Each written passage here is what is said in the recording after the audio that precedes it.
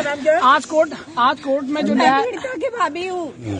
आज आज कोर्ट ने जो फैसला किया है उससे क्या संतुष्ट हैं आप? नहीं संतुष्ट नहीं है। हम संतुष्ट नहीं है। हमें संतुष्टि जब भी होगी जब चारों को सजा मिलेगी चारों को सजा मिलेगी तब संतुष्ट होंगे हम। तो क्या एक अस्थियाँ जो रख रखी है विसर्जित करेंगे? नहीं उन्हें उनका विसर्जन जब होगा जब चारों को सजा मिलेगी तब।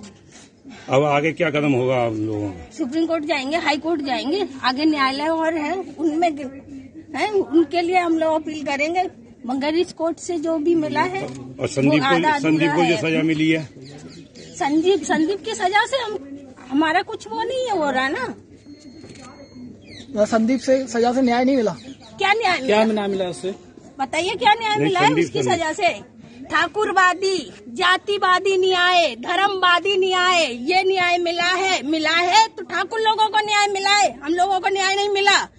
योगी जी ने ना ठाकुरवादी बना के रखा है यूपी को, ठाकुरवादी। है, हम भंगी की औलाद है छाती ठोक के बोलते हैं भंगी को। ठाकुरवादियों से ज़्यादा वो नहीं करते हम, क्योंकि उन्हें न्याय मिला है, हमें न्याय नहीं मिला। हम हिंदू नहीं है, हम लोग हिंदू भी नहीं है। क्योंकि हिंदू होने का कोई मतलब है? आप बताइए। कोई है? नहीं है। हम किसी गिनती में नहीं आते। किसी गिनती में नहीं आते। गंदी नाले कीड़े मकोड़े बना रखा है हमको तो।